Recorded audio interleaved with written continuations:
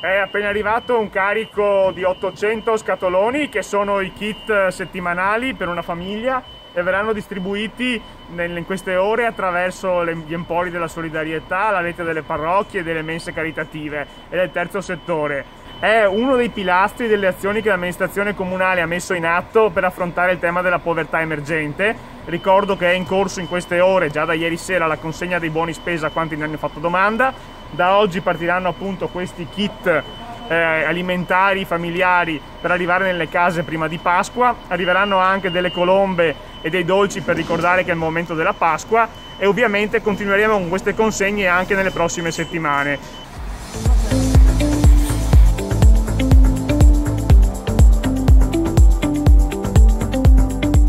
Questa è solo la prima tranche a cui ne seguiranno altre.